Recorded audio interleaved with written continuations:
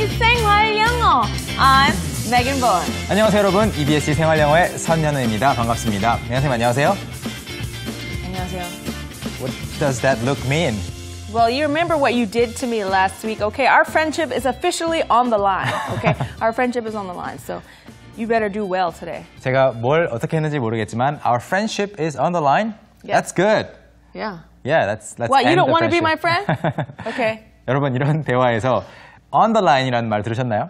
Your, uh, our friendship, 우리의 우정이 is on the line. 선 위에 있다. 약간 무슨 뜻인지 잘 감이 안 올 수가 있- 있겠는데요. 오늘 이 on the line 가지고 공부를 해볼 겁니다. 그런데 먼저 워밍업하고 오실 텐데요. 오늘의 키워드는 뭔가요? All right, so today's keyword is line.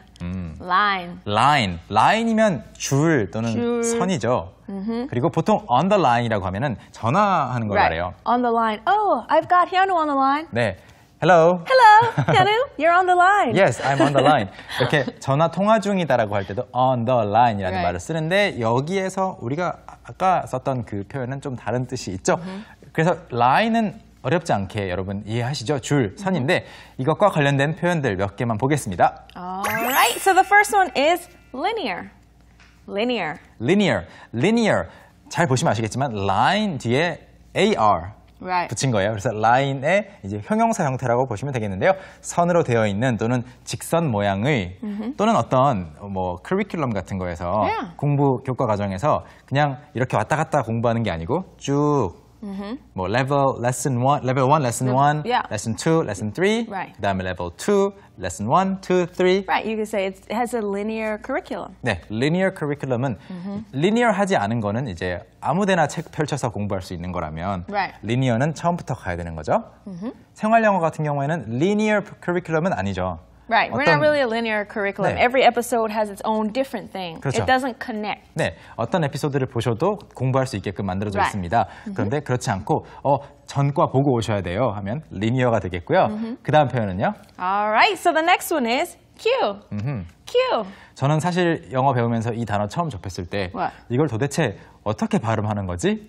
좀 헷갈렸었어요. Q, Q, Q. Q에 Q에 Q에 It's just Q. 그냥 like Q. the letter Q. 네, 그냥 알파벳 Q처럼 읽어주시면 되는데요. Yeah. Q라고 하면 사람들이 서 있는 줄인데, Right. 네, Q. We're queuing up. We're queuing up. Okay. Just two people queuing Right. up. Queue up이라고 하면 이렇게 줄을 서는 것을 말해요. 뭐 유명한 식당 앞에서 또는 Right. 뭐 어디 커피숍 앞에서 줄을 서듯이 queue인데 어, 미국에서는 queue 별로 안 쓰죠. Right, we usually don't use it. And actually, I didn't really even know that people use it like that until I came to Korea Ah. and met a lot of friends from England. And they would be like, oh, I was in the queue. And I was like, excuse me, you were in the queue? Is that a mall or something? 네, queue라고 we 하면 just say in line. 맞아요. 미국에서는 in 뭐 line 줄 서 Right. 있다 또는 line up이라고 하는 반면에 영국이나 호주 등에서는 queue라고 합니다. 스펠링도 좀 특이하죠. 그리고 마지막 표현은요. All right, so the last one we just talked about is line up. Line up. 우리가 방금 이야기했던 라인업은 이제 줄 서는 걸 말한다면 이렇게 line hyphen up 하면 이제 참석 예정자 목록 the list of people who will come to an event Ah, right. So you could say tonight's lineup is, you know, this singer, that singer, this rapper, this performer. Right, 그렇죠. the lineup. 네, 공연의 출연진 등도 라인업이라고 합니다. 자, 라인 관련해서 다양한 표현들을 살펴보았는데요. 워밍업이 충분히 되셨나요? 자, 이번에는 본격적으로 공부를 시작할 시간입니다. 오늘 My job is on the line 이라는 말이 들어간 대화 만나볼 텐데요. 함께 가볼까요? Of course. Let's go Into into, the the scene. Can you take off this weekend to go camping with the kids? Honey, you know I can't take any more days off. But you work so often. Just take off this weekend to spend time with the kids. My job is already on the line as it is. I can't ask for the weekend off.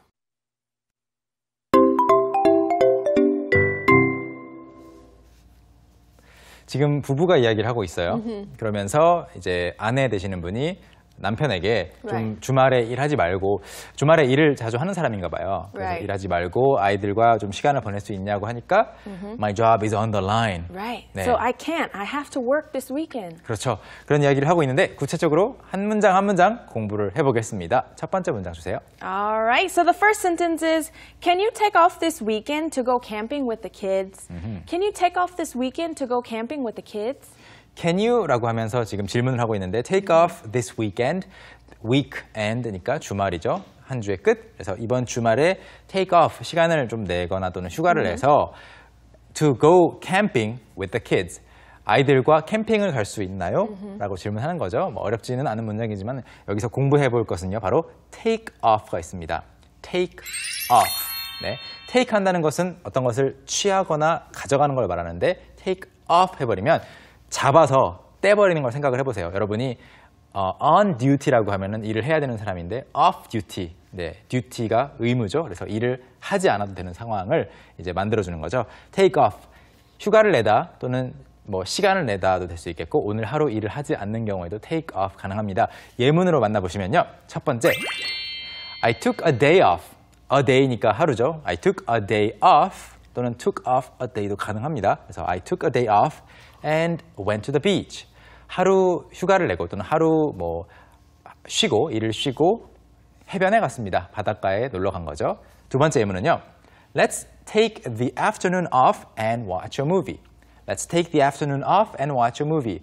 이제 하루 전체를 쉴 수도 있겠고 한 주일을 쉴 수도 있겠고 주말 쉴 수도 있겠지만 오후를 쉴 수도 있거든요. 반차라고 하죠. 그래서 오후 이제 일 그만하고 오후는 쉬고 영화 봅시다 라는 말이죠. Let's take the afternoon off. 네, 또는 take off the afternoon 순서 좀 바꿔도 괜찮습니다. And watch a movie라고 제안을 하는 예문이었습니다.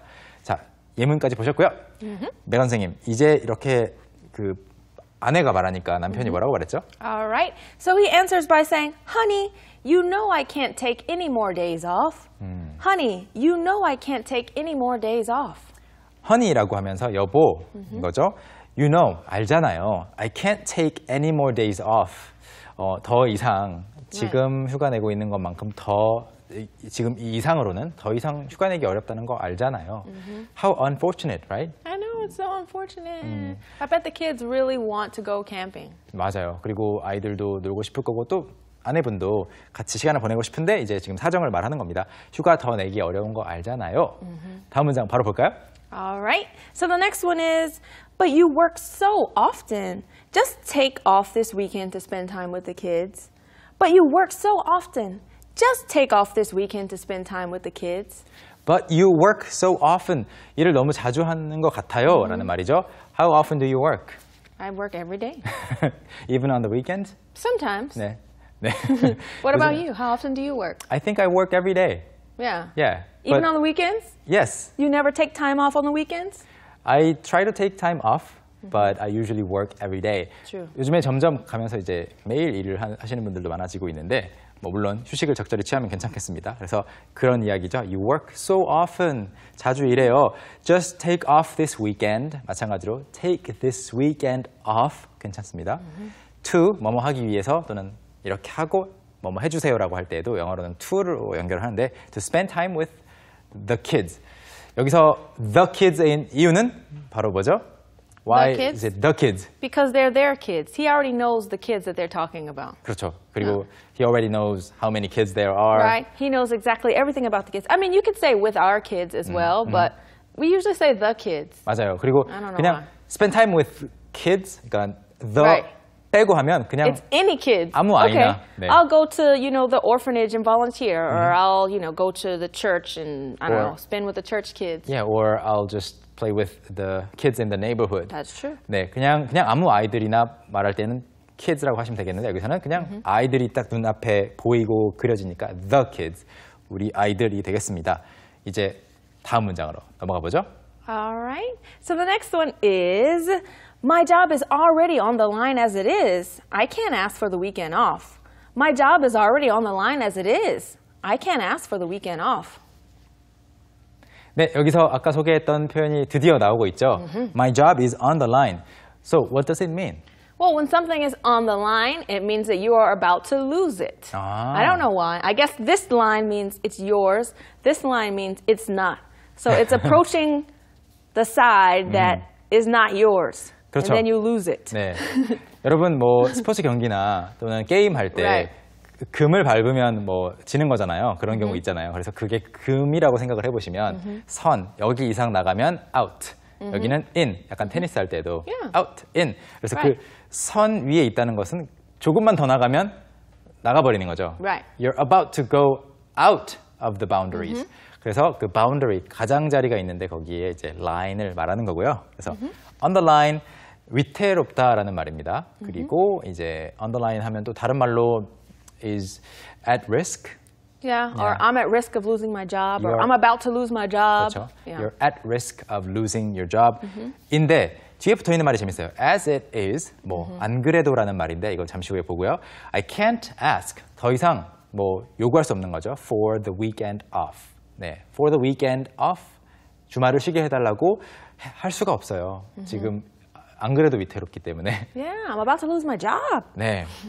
심각한 상황인 거죠. 일도 많이 해야 되고 또 위태로우니까. 네. 여기서 방금 전에 소개했던 as it is 공부하고 올까요?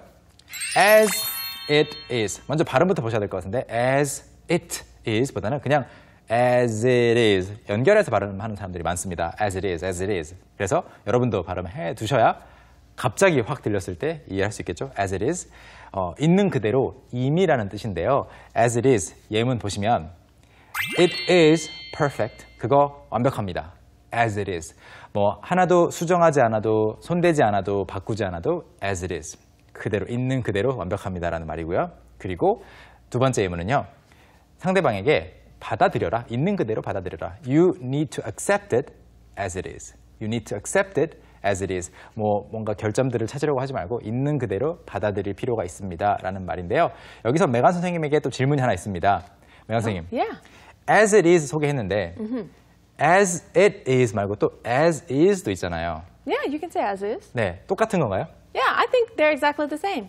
Oh, I like you as is. I, well, you'd have to say as you are. You can't say as it is, but I think they're exactly the same. 아 그렇군요. 그래서 as it is가 원래 표현인데 워낙 많이 쓰이다 보니까 it을 빼고 as is라고 쓰는 사람도 많아요. 그래서 as it is, as is 둘 다 알아두시면 좋겠네요.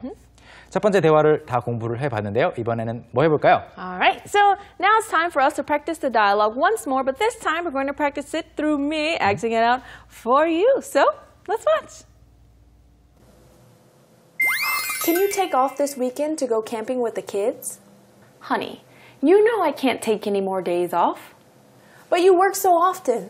Just take off this weekend to spend time with the kids. My job is already on the line as it is. I can't ask for the weekend off.